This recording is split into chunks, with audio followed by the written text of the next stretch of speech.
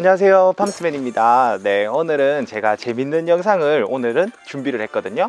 어떤 재밌는 영상이냐면 어, 오늘은 저희가 대구 MBC에서 우리 팜스맨 채널을 촬영하러 오신다고 해요. 근데 좀 특이한 게 팜스맨 채널을 촬영하러 오시는데 다른 유튜버 분이 저를 만나는 이런 컨셉의 촬영이거든요. 그래서 그분을 이따가 아마 그 유튜버 분이 들어오실 건데요. 어, 떤 분이지? 저도 되게 궁금하고 사실 좀 기대되는 그런 방송인 것 같아요. 그래서 오늘 영상 되게 재미있는 영상으로 준비를 했으니까요. 이번 영상도 재밌게 봐주세요 네, 그래서 우리 오늘 이렇게 자리로 옮겨가지고 제가 오늘 오시는 분한테 요 다육이에 대해서 좀 알려드리고 이 다육이와 관련된 그런 좀 재미난 요소들을 우리 시청자분들한테 늘 말씀드리는 것처럼 오늘 그 유튜버 분한테도 알려드릴 거니까요. 그 눈높이에 맞춰서 우리 시청자분들도 오늘 또 많은 또 재미난 이야기들을 또 들을 수 있을 것 같습니다. 어, 네. 자, 이제. 오, 안녕하세요. 어, 네, 안녕하세요. 아, 네, 오셨네요. 아, 네. 반갑습니다. 아, 네, 반갑습니다, 아. 유장님. 아, 아니요, 듣기로는 네네. 어, 같은 청년 농부고 네네. 도시 농부고 네. 또 같은 농기부인데 네.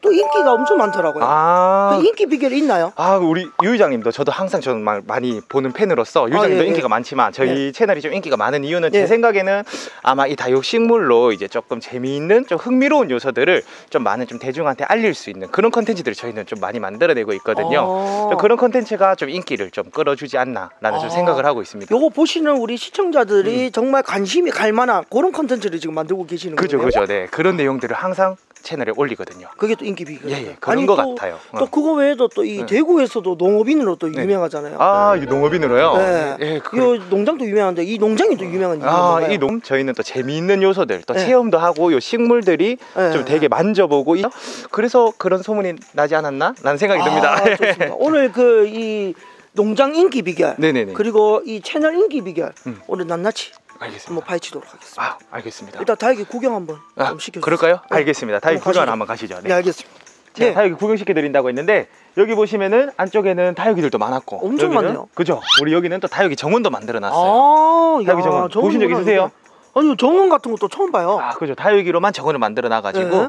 네, 요런 다육이 정원 또 매력이 있습니다. 네, 네. 네. 그리고 네. 저 안쪽에 있는 작은 식물들 아까 봤는 예, 거 있죠? 그게 이제 커가지고 이렇게 이제 옮겨 심는 네, 아. 화분으로 옮겨 심는 이런 다육이들이 있어요. 종류도 천차만별이네요, 진짜. 그죠? 네. 네. 안쪽에 있는 것보다 더 커가지고 네, 조, 네, 네. 조금 더 다른 매력을 가지고 있어요. 음, 네. 그렇구나. 보시기에 좀 다른 매력 있는 거 좀 보이세요? 어, 지금 엄청 오고 있어요. 마음속으로. 오, 정말요? 네. 어, 치료받고 매력을- 있는 중이시네요. 아, 지금 치료도 받고 있고 어, 네. 지금 매력을 알아가고 있는 것 아 같습니다. 정말요? 네. 그러면 다육이에 대해서 조금 아실 것 같은데 다육이에 대해서 어느 정도로 알고 계세요? 아, 근데 이, 저는 이 다육이를 네. 사실 솔직하게 이야기하면 선인장이라고 생각했어요.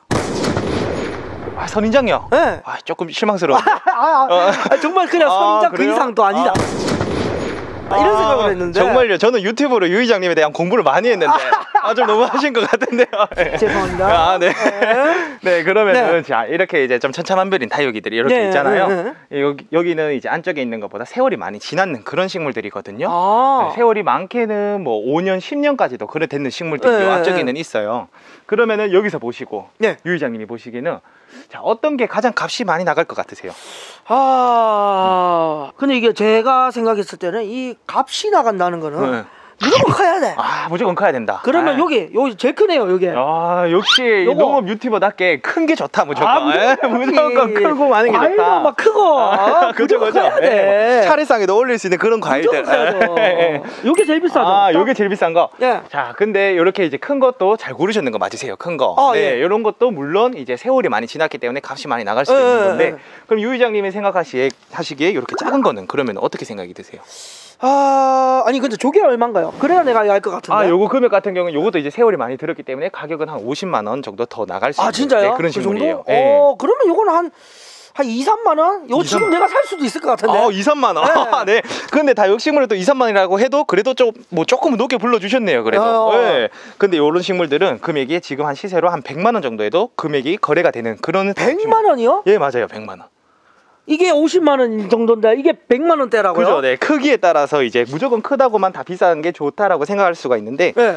사실 지금 이 다육식물 얼굴 하나랑 이 다육식물 얼굴 하나랑 네. 크기가 좀 비슷하잖아요. 그죠? 그렇네요. 예, 근데 이 다육식물이 더 비싼 이유들이 있습니다. 왜 그렇죠? 아, 이그 이유가 왜 그러냐면 네. 이 다육식물은 좀 들어보셨을지 모르겠어요. 네, 다육식물 금이라고 들어보셨어요? 금. 네, 금. 어 들어본 것 같긴 해요. 어 정말요? 네. 어디서 들어보셨어요? 제 채널에서? 채널에서. 네, 감사합니다. 네, 네, 아, 괜찮아지고 있는 것 같습니다. 나아지고 있어요. 네, 네. 맞습니다. 이런 다육식물 금이라고 하는데, 네. 금이면 어. 우리 또 골드 아닙니까? 그죠? 뭐 맨날 맨날 금시세 막쭉 아, 하잖아요. 그렇죠. 예. 어, 어, 지금도 예, 금시세가 예. 많이 올라가 있는데 그런 것처럼 다육식물 금이라고 하면은 일반적인 식물들 있죠. 네. 우리 그래도 유이장님도 농업하시니까 그렇죠. 식물을 키우려면 식물의 잎은 무슨 색이에요? 식물의 잎은 초록색이죠. 그죠? 초록색이어야지만 네? 정상적인 광합성을 할 수가 있거든요. 그죠? 음, 네, 맞아요. 근데 이제 금이라고 하는 것은 네. 그 엽록소에 변이가 찾아와서 네. 이런 노란색과 같은 어떠한 무늬를 만들어내는 것 보고 금이라고 해요. 우리나라에서. 금이라고 한다고요? 예. 아, 그러면 우리가 일반적인 이런 초록색 이미지가 아니라 변이, 돌연변이 같은 거네요. 그렇죠. 변이가 만든 거죠. 아, 사실 이게 농업에 있어서도 좀 그런 게 있잖아요. 육종. 육종 있죠. 네, 육종. 육종은 네. 어떠한 개체를 선별을 해서 그 네. 개체를 널리 확산시키는 거 보고 음, 육종을 하는 사람이라고 맞아요, 맞아요, 하잖아요. 맞아요. 이 다 육식물도 마찬가지로 변이가 왔는 그 변이체 이제 금이라고 하는 엽록소의 변이종들만 이제 어떻게 보면 선별을 해서 계속 확산시키는 거죠. 아, 네 그렇기 때문에 이런 다 육식물들은 네. 변이가 있기 때문에 금액이 조금 더 좀 남다른 금액을 몸값을 가지고 있어요. 그러면 지금 여기 지금 변이가 온 건가요? 그렇죠. 이게? 변이가 왔는데 네. 어떻게 변이가 왔는지 제가 한번 설명드려 볼게요. 네. 일반적인 아까 유 회장님 말씀 잘 해 주셨는데 네. 초록색의 식물, 네. 잎이 초록색이죠. 네, 초록색. 같은 식물이에요. 네. 같은 식물 같아 보여요? 아니요, 그렇게 안 보이는데. 어 진짜? 네. 어 이거 보시면은 색감이 좀 달라서 그러는데 모양은 똑같네요. 잎의 모양은 똑같죠. 아, 맞네. 모양은 똑같네. 예. 예. 근데 원래 정상적인 초록색의 이제 무늬를 가지고 있다면 예? 이거는 변이가 와서 노란색의 무늬를 가지고 있는 거예요. 아, 이 무늬를 그러면 제가 또 단계별로 한번 보여드릴게요. 예. 자, 이 무늬 완전 초록색의 무늬와 초록색인 무늬와 이쪽에 보시면은 이 무늬는 네. 여기 한쪽 편에만 노란색의 무늬들이 지금 많이 있는 게 보이시죠? 예, 예, 맞아요, 이쪽 편에도 맞아요. 무늬가 있고. 예, 예, 예. 근데 여기 한번 보세요. 여기는 무늬가 없죠. 오, 그러네요. 네. 이런 이제 노란색의 무늬들 뒷면으로 보시면은 네. 또 보일 수가 있어요. 요런 무늬들로 인해서 일단 네. 이것도 금이 되는 거예요. 아. 그런데 이 금이라고 하더라도 네. 이것과 이것과 또 금액이 또 달라요. 저는 왠지 네. 얘가 더 비쌀 것 같아. 오 이제 맞아요? 치료가 됐습니다 이제. 네 이제 치료.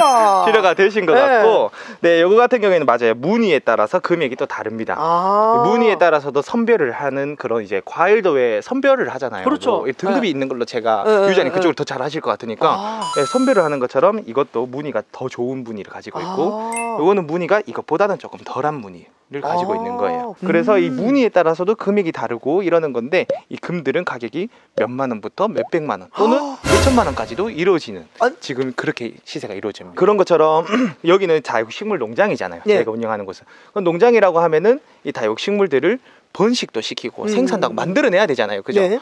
네, 그런 것처럼 이 다육식물들은 다육식물이 좋은 금을 가지고 있는 이런 유전체를 가지고 있는 식물을 또 번식을 하면은 또 좋은 게 나올 확률이 되게 높아져요. 그러면 네. 오늘 저도 이게 번식을 한번 해볼 수 있나요? 맞습니다. 제가 오늘 그거를 알려드리려고 이렇게 가운을 입고 아, 있어요. 오늘 또 그것 때문에. 맞아요. 알겠습니다. 네. 저는 한번 번식하러 네, 예, 가보죠. 가보시죠. 알겠습니다. 식물 번식하러 한번 같이 가보시죠. 알겠습니다. 예,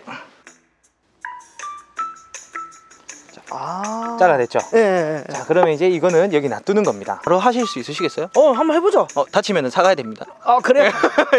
하시죠. 네. 와, 오,